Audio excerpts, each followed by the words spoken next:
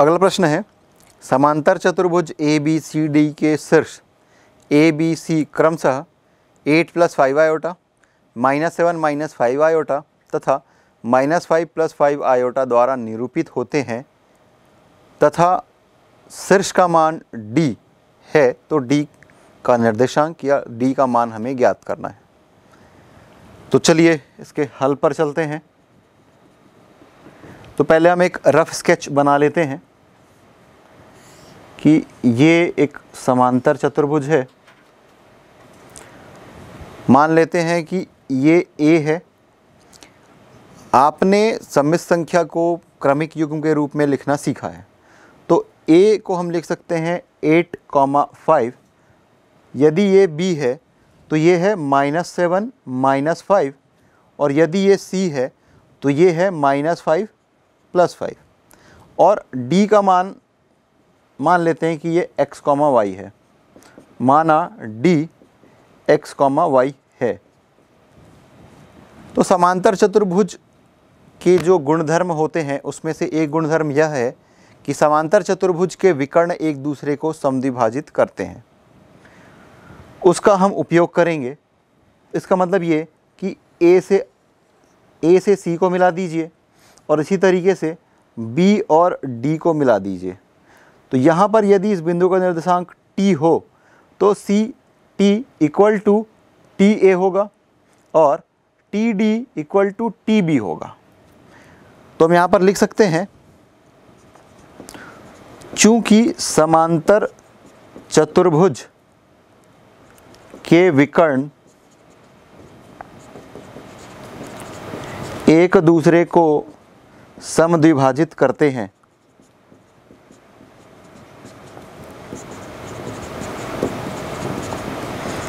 अतः यहाँ से देखिए, B और D का मध्य बिंदु है T B और B और D का मध्य बिंदु बराबर C और A का मध्य बिंदु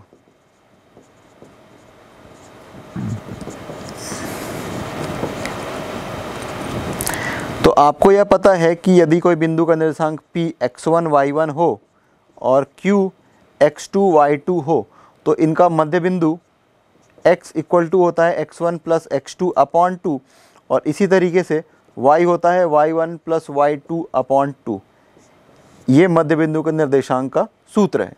तो B और D तो देखिए, B का x निर्देशांक है माइनस सेवन डी का x निर्देशांक है x अपॉन ये इसका एक्स निर्देशांक हो गया, इस टी बिंदु का बी और डी का मध्य बिंदु है इस वजह से। फिर इसका वाई निर्देशांक माइनस फाइव और ये plus y upon two equal to A और सी का मध्य बिंदु ये ए है और सी का मध्य बिंदु भी टी है तो इसका एक्स निर्देशांक क्या होगा? एट माइनस फाइव ये माइनस फाइव पहले से इस वजह से माइनस फाइव अपॉन टू और ये फाइव और ये five five plus five upon two तो इस तरह से जब हम इसको और आगे हल करेंगे तो आपको मिल जाएगा minus seven plus x upon two और इसे आप लिख लीजिए y minus five upon two equal to eight minus five ये आपको मिल जाएगा three by two five plus five upon two तो five plus five upon two that is ten upon two और इसे हल करेंगे तो मिल जाएगा आपको फाइव तो आगे हल करें इसे। तो इसका एक्स निर्देशांक और इसका एक्स निर्देशांक बराबर होगा। तो हम लिखेंगे,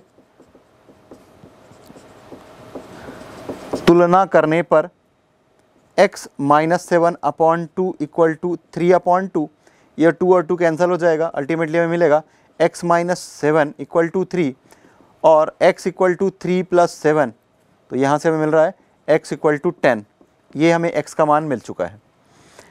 दूसरा है y minus five upon two equal to ten upon two ये टू और टू कैंसिल हो गया, यहाँ से हमें मिलेगा y minus five equal to ten और y equal to ten plus five और y इक्वल टू फिफ्टीन तो इस तरीके से ये x निर्देशांक और ये y निर्देशांक मिल गया। तो हम लिख सकते हैं d के निर्देशांक टेन फिफ्टीन होगा। अगला प्रश्न है, यदि z equal to three minus five iota हो तो सिद्ध कीजिए, z square minus six z plus thirty four equal to zero तथा इसका उपयोग करते हुए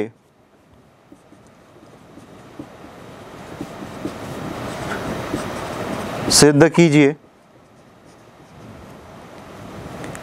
Z cube minus ten z square plus fifty eight z minus one thirty six equal to zero ये मान हमें दिया गया है। पहले हमें ये सिद्ध करना है। ये जब सिद्ध हो जाएगा तो इसका उपयोग करते हुए हमें ये सिद्ध करना है। तो चलिए, पहले हम लिख लेते हैं। दिया गया है क्या दिया गया है? Z equal to three minus five iota देखिए z square minus six z plus thirty four equal to z हमें प्रूफ करना है। तो यहाँ पर जेड स्क्वायर है और माइनस सिक्स जेड तो हम एक काम करते हैं कि ये जो थ्री है, इस तरह पक्षांतर कर लेते हैं। तो हमें क्या मिल जाएगा? Z minus three equal to minus five iota अब हम वर्ग कर देंगे। तो हमें क्या मिल जाएगा? Z square z minus three का whole square equal to minus five iota का होल स्क्वायर तो यहाँ से हमें क्या मिल जाएगा? Z square minus six z plus nine a minus b का whole square a square minus two a b plus b square equal to minus है और यहाँ पर इसका स्क्वायर है तो ये हमें प्लस मिल जाएगा और फाइव का स्क्वायर मिलेगा ट्वेंटी फाइव और ये आयोटा स्क्वायर तो इस तरीके से z square minus six z plus nine और ये वैल्यू आप पुट करेंगे तो आपको मिल जाएगा माइनस ट्वेंटी फाइव क्यों? Iota square equal to minus one होता है। ये इधर आकर के पक्षांतर होगा तो प्लस हो जाएगा। Z square minus six z plus nine plus twenty five equal to zero तो अल्टीमेटली हमें मिल गया z square minus six z plus thirty four equal to zero तो हमें जो सिद्ध करना था, इसका पहला भाग सिद्ध हो चुका है। अब हमें z cube minus ten z square plus fifty eight z minus one thirty six equal to z proof करना है। तो हम एक काम करते हैं कि ये जो पद है उसको इससे भाग देते हैं। तो हम इसको इसके और एक और बहुपद के गुणनखंड के रूप में लिख पाएँगे। तो हम भाग देने वाले हैं z square minus six z plus thirty four से z cube minus ten z square plus fifty eight z minus one thirty six को।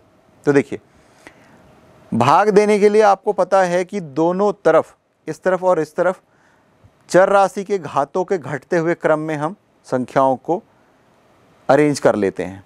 तो ये घात दो, घात एक और शून्य, घात तीन, दो, एक, शून्य, ये सही क्रम में जमा हुआ है। तो z क्यूब यहाँ पर है और यहाँ पर है जेड स्क्वायर। तो जेड स्क्वायर में किसका हम गुणा करेंगे कि जेड क्यूब आ जाएगा? तो वो होगा z. तो z से जेड स्क्वायर का गुणा करेंगे, आपको मिल जाएगा जेड क्यूब फिर इस जेड से माइनस सिक्स जेड का गुणा करेंगे, मिलेगा माइनस सिक्स जेड स्क्वायर फिर इस जेड से इस थर्टी फोर का गुणा करेंगे तो मिल जाएगा थर्टी फोर जेड अब आप घटा दीजिए। तो ये माइनस चिन्ह के साथ आएगा और ये माइनस और माइनस प्लस हो जाएगा और ये भी माइनस हो जाएगा। इसका मतलब ये कि अल्टीमेटली ये जो एक्सप्रेशन है, ये क्या हो गया है? Z cube minus ten z square minus fifty eight z, minus z cube minus six z square plus thirty four z. ये है। अब इस ब्रैकेट को ओपन करेंगे तो आपको क्या मिल जाएगा? Z cube minus ten z square minus fifty eight z, minus z cube, और ये और माइनस माइनस का गुणा करके हम लिखेंगे प्लस सिक्स जेड स्क्वायर ये माइनस और ये प्लस का गुणा करके लिखेंगे माइनस थर्टी फोर जेड। तो ये जो फाइनल चिन्ह आया है, उसी को मैंने यहाँ पर लिखा हुआ है, माइनस और ये प्लस और ये अगेन माइनस। इसे जब हम आगे हल करेंगे तो देखिए जेड क्यूब और जेड क्यूब कैंसिल हो जाएगा। माइनस टेन जेड स्क्वायर और प्लस सिक्स जेड स्क्वायर है। इसे जब आप सॉल्व करेंगे तो मिलेगा माइनस फोर जेड स्क्वायर। और ये है fifty eight z, minus thirty four z. इसे सॉल्व करेंगे तो आपको मिल जाएगा प्लस ट्वेंटी फोर जेड और ये जो 136 है, इसे हम यहाँ पर लिख लेते हैं। अब देखिए, यहाँ पर है माइनस फोर जेड स्क्वायर और यहाँ पर है जेड स्क्वायर। तो इसमें हम किसका गुणा करेंगे कि माइनस फोर जेड स्क्वायर मिल जाएगा? वो होगा माइनस फोर। तो माइनस फोर का गुणा इस पूरे बहुपद के साथ कीजिए। तो minus four z square minus और minus plus twenty four z और थर्टी फोर और फोर, माइनस फोर का मल्टीप्लाई करेंगे तो आपको मिल जाएगा माइनस वन थर्टी सिक्स। ये पूरा पद और ये पूरा पद सेम है, माइनस करेंगे तो ये प्लस ये माइनस और ये प्लस ये पूरे के पूरे कैंसिल हो जाएगा। तो अल्टीमेटली हमें यहाँ पर मिलने वाला है शून्य। तो इस तरीके से हम ये लिख सकते हैं कि z cube minus ten z square z cube minus ten z square plus fifty eight z minus one thirty six equal to z minus four into z square minus six z plus thirty four और हमें पता है कि यहाँ पर अगर इसे समीकरण एक नाम दे दिया जाए तो z square minus six z plus thirty four equal to zero मिला है। तो ये पूरा पद ज़ीरो है। तो ये हमें z minus four into zero जब करेंगे तो आपको मिल जाएगा इक्वल टू ज़ीरो तो इस तरीके से सिद्ध हुआ कि z cube minus ten z square plus fifty eight z minus one thirty six equal to zero. और यही हमें सिद्ध करना था। अब चलते हैं बिंदु पथ पर। बिंदु पथ या लोकस। बिंदु दिए गए प्रतिबंध का पालन करते हुए जिस पथ पर गति करता है, उसे उस बिंदु का बिंदु पथ कहते हैं। तो आगे हमें प्रश्न मिलेंगे, जिस पर हमें बिंदु पथ निकालना होगा एक दिए गए प्रतिबंध पर। प्रश्न है, सम्मिश्र संख्या z equal to x plus iota y का बिंदु पथ। ज्ञात कीजिए।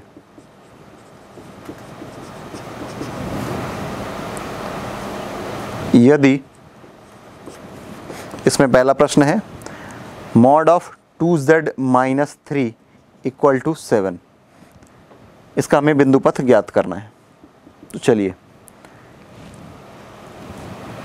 हमें दिया गया है। Z equal to x plus iota y इसे समीकरण एक नाम दे देते हैं। और दिया गया है two z minus three equal to seven इसे समीकरण दो नाम दे देते हैं। यहाँ पर जो z है, उसे हम x प्लस आयोटा वाई से रिप्लेस कर देते हैं।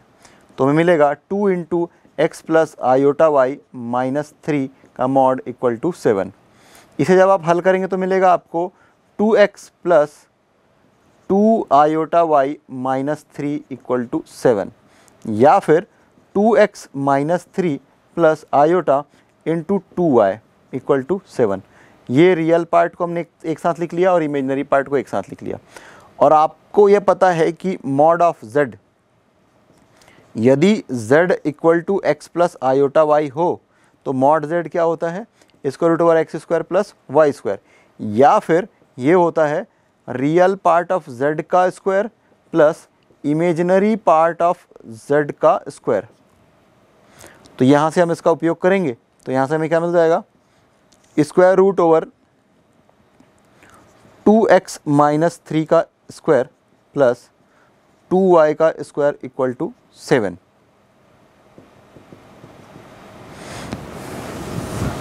अब इसे आगे हल करने के लिए हम वर्ग कर देते हैं।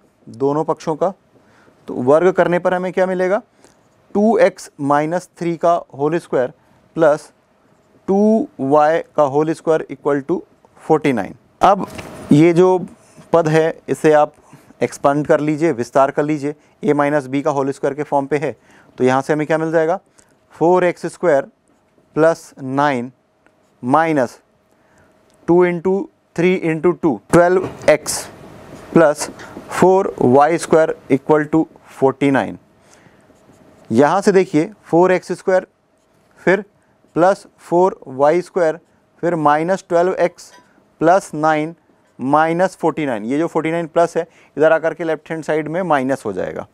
तो यहाँ से हम लिख सकते हैं, four x square plus four y square minus twelve x minus forty equal to zero. पूरे पद में हम चार से भाग दे सकते हैं या चार उभयनिष्ठ निकाल सकते हैं। तो आप लिखेंगे four x square plus y square minus three x. Minus ten equal to zero. तो फोर तो ज़ीरो के इक्वल नहीं हो सकता, क्योंकि फोर अपने आप में एक अलग नंबर है। तो यहाँ से हमें क्या मिल जाएगा? X square plus y square minus three x minus ten equal to zero. और यही इस बिंदु का बिंदु पथ है। आगे चलकर आप देखेंगे कि यह एक वृत्त का समीकरण है। यदि समित संख्या z equal to x plus iota हो तो हमें बिंदु पथ ज्ञात करना है। दूसरे प्रश्न में mod of z minus a plus iota b equal to three का। तो चलिए आगे हल करते हैं। पहली बात है कि दिया गया है, उन राशियों को हम पहले लिख लेते हैं। z equal to x plus iota y यह दिया गया है। और दूसरा है z minus a plus iota b का मॉड यहाँ पर है इक्वल टू थ्री इसे समीकरण एक और इसे समीकरण दो नाम दे देते हैं। Z का मान हम यहाँ से इस पर रख देते हैं तो हमें मिलेगा x plus iota y minus a अब ये ब्रैकेट ओपन कर रहे हैं तो ये minus a minus iota b हो जाएगा इक्वल टू थ्री या फिर इसे आप इस तरीके से भी लिख सकते हैं mod of x minus a वास्तविक भाग को एक साथ और इमेजनरी भाग को एक साथ। आयोटा यहाँ पर भी है और आयोटा यहाँ पर भी है। तो आपको मिल जाएगा iota into y minus b और इन सब का मॉड इक्वल टू थ्री अब मॉड का मतलब आपको पता है, थोड़ी देर पहले हमने देखा था, ये होता है square root over x square plus y square मतलब square root over real part of z का square plus imaginary part of z का स्क्वायर ये इक्वल टू थ्री है। अब यहाँ पर लेफ़्ट हैंड साइड में स्क्वायर रूट है। इसे हल करने के लिए हम दोनों पक्षों का वर्ग करेंगे। तो हमें वर्ग करने पर मिलेगा x माइनस ए का square plus y minus b का स्क्वायर इक्वल टू नाइन और यह भी एक वृत्त का समीकरण है, जिसका केंद्र है ए बी और इस वृत्त की त्रिज्या तीन इकाई है। आगे जब आप वृत्त वाला अध्याय पढ़ेंगे, तब वहाँ पर आप इसे देखेंगे। अगला प्रश्न है यदि आर्गंड आरेख पर बिंदु P सम्मिश्र संख्या z equal to x plus iota y को निरूपित करता है तो बिंदु पथ ज्ञात कीजिए। यदि mod of z minus two equal to two times mod of z plus two हो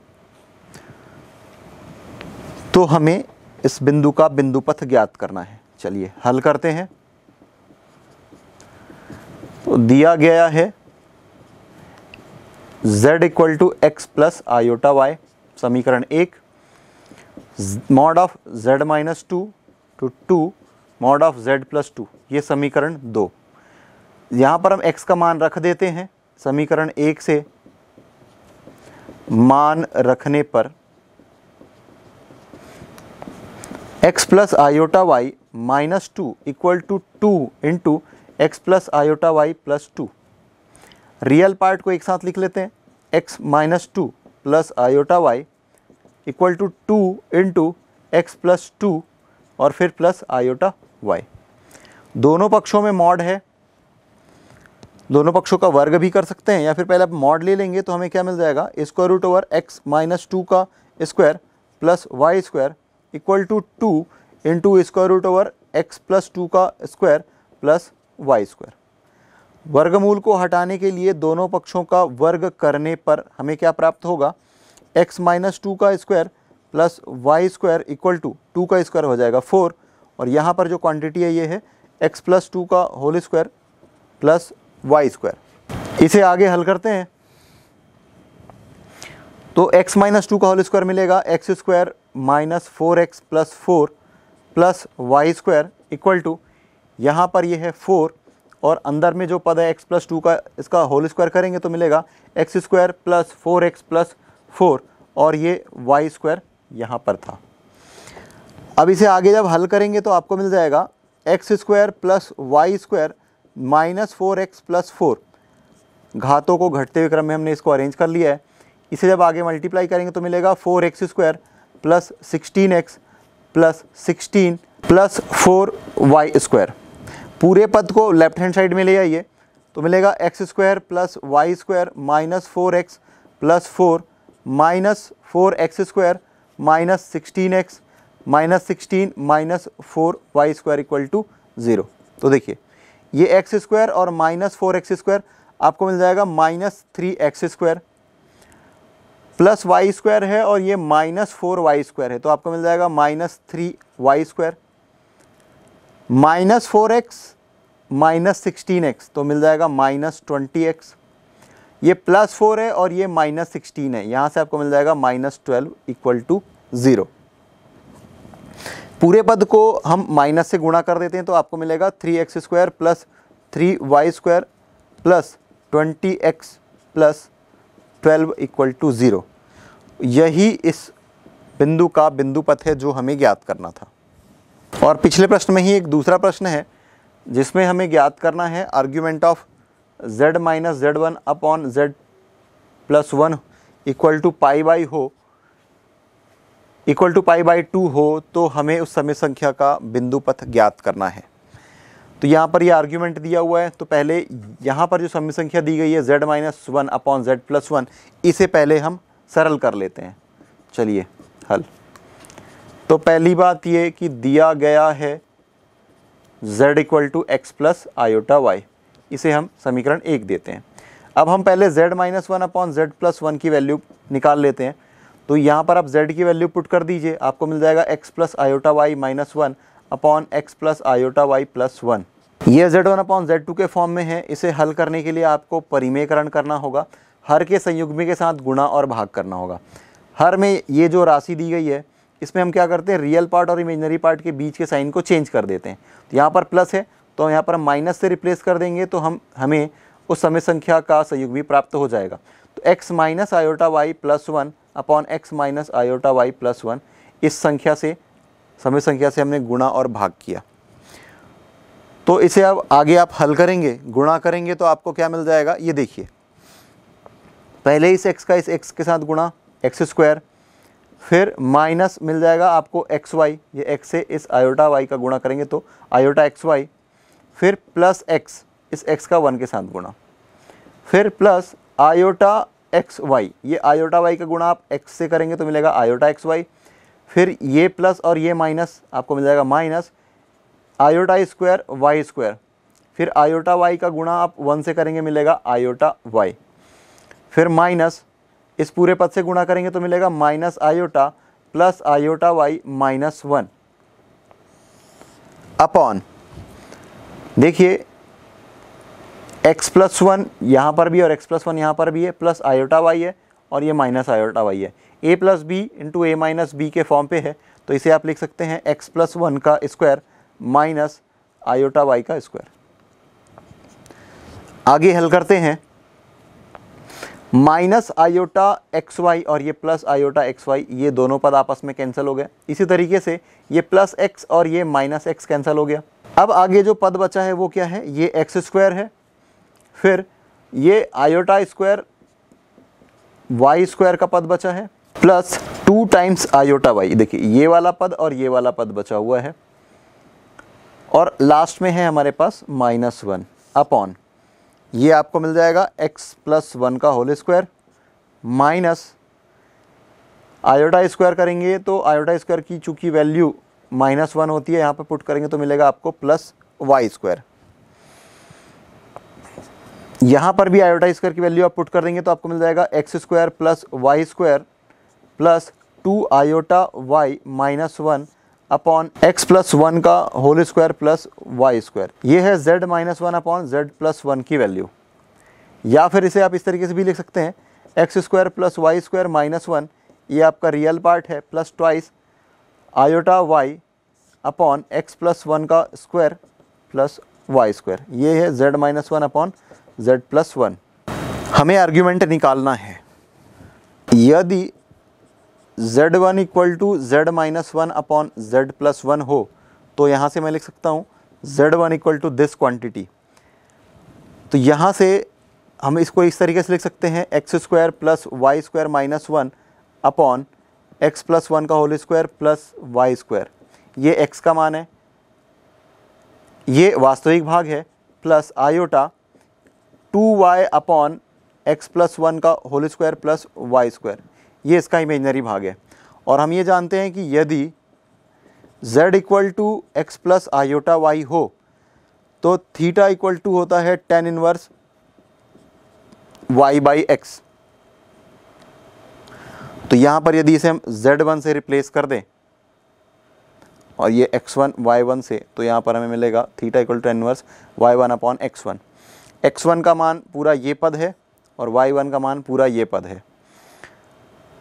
तो यदि हम y बाई एक्स निकालेंगे या y one upon x one निकालेंगे तो आपको दिस अपॉन दिस मिलेगा। हर में ये दोनों पद समान है, ये कैंसिल हो जाएगा, आपको मिलेगा two y upon x square plus y square minus one यहाँ पर देखिए कि ये argument of z argument of z one z minus one upon z plus one ये हमें याद करना था।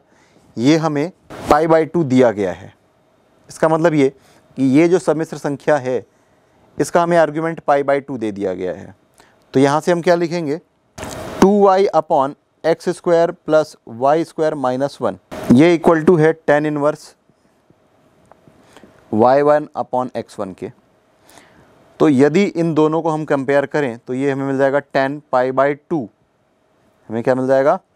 Tan pi by two equal to y one upon x one और टेन पाई बाई टू होता है इन्फिनिटी या फिर इसे हम लिख सकते हैं वन बाई ज़ीरो तो उसका हम यहाँ पर इस्तेमाल करने वाले हैं, इसे हम लिखेंगे वन बाई ज़ीरो तिरक गुणा कर दीजिए तो two i into zero that will be zero और इससे इसका गुणा करेंगे तो आपको मिल जाएगा x square plus y square minus one equal to zero या फिर आपको मिलेगा x square plus y square equal to one और यह एक ऐसे वृत्त का समीकरण है जिसकी त्रिज्या एक है और मूल बिंदु का निर्देशांक शून्य शून्य है।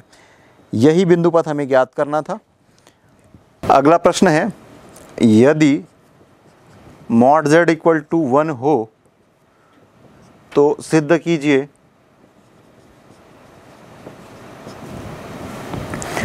one plus z upon one minus z bar equal to z तो इसे हल करने के लिए हमें समय संख्या के संयुग्मी से संबंधित अवधारणाओं का इस्तेमाल करना होगा। तो पहले हम लिखेंगे कि दिया गया है mod z equal to one. तो यहाँ से हम ऐसा लिख सकते हैं क्या? दोनों पक्षों का जब वर्ग कर देंगे, तब भी हमें mod z square equal to one मिलेगा, वन का स्क्वायर वन। और मॉड z को आप लिख सकते हैं z इंटू जेड बार। समय संख्या और उसका संयुग्मी का दोनों का जब आप गुणा करेंगे तो आपको मॉड z का स्क्वायर मिल जाएगा। तो यहाँ से हम इसको लिख सकते हैं z into z bar equal to one और यहाँ से हम z बार की वैल्यू निकाल सकते हैं। Z की वैल्यू तो दी गई है। मॉड z की वैल्यू तो दी गई है। अब यहाँ से z बार निकाल लेते हैं। तो z बार इक्वल टू मिल जाएगा वन अपॉन जेड इसका हम आगे चलकर उपयोग करेंगे। ये हमें मान मिल गया है। अब यहाँ पर जो हमें ज्ञात करना है one plus z upon one plus z bar. इसे हम ज्ञात करने के लिए आगे इसमें वैल्यू पुट कर देते हैं। तो one plus z upon one plus z bar. Z bar की वैल्यू है वन अपॉन जेड। इसे जब आगे हल करेंगे तो आपको मिल जाएगा one plus z upon z plus one upon z. तो अल्टीमेटली ये पद और ये पद कैंसिल हो जाएगा। ये हमें मिलेगा one plus z upon one plus z bar equal to z, और यही हमें सिद्ध करना था। दूसरा प्रश्न है, यदि z1 और z2 सम्मिश्र संख्याएँ इस प्रकार है कि mod of z1 equal to mod of z two equal to one upon mod of z one plus one upon z two equal to one हो तो सिद्ध कीजिए कि mod of z one plus z two equal to one, ये हमें सिद्ध करना है। चलिए, हल करते हैं। तो जो चीज़ें दी गई है, उसका हम इस्तेमाल करेंगे इसको सिद्ध करने के लिए। दिया गया है जेड वन का mod equal to z two का मॉड, और ये बराबर है mod of one upon z one plus one upon z two के बराबर है, और ये इक्वल टू वन है। ये देखिए, ये इक्वल टू वन है। तो इस तरीके से हम जब इसका वर्ग करेंगे तो मॉड ऑफ़ जेड वन का वर्ग equal to mod of z two का वर्ग बराबर। यहाँ पर हमने जो कंसेप्ट का इस्तेमाल किया था, उसका भी इस्तेमाल हम यहाँ पर करेंगे। तो इसे हम लिख सकते हैं जेड इंटू जेड बार या फिर z one into z one bar equal to z two और जेड टू का बार इक्वल टू वन तो ये अंतिम तीन पदों का अगर हम इस्तेमाल करें तो हम यहाँ से लिख सकते हैं। One upon z one equal to z one का बार और one upon z two equal to z two का बार। तो इसलिए हम आगे लिखेंगे, one upon z one plus one upon z two equal to one. यहाँ पर ये जो वन अपॉन जेड वन है और यहाँ पर वन अपॉन जेड टू है, इसकी वैल्यू को हम पुट कर देते हैं। तो यहाँ से हमें मिल जाएगा जेड वन का बार प्लस जेड टू का बार इक्वल टू वन दोनों पक्षों का संयुग्मी ले लेंगे तो हमें मिलेगा mod of z one bar plus z two bar और ये पूरे का बार इक्वल टू वन तो इसे और और आगे हल करेंगे तो आपको मिल जाएगा z one plus z two किसी संख्या का संयुग्मी का संयुग्मी, वह सम्मिश्र संख्या होती है। इस वजह से हमें मिल जाएगा mod of z one plus z two equal to one और यही हमें सिद्ध करना था।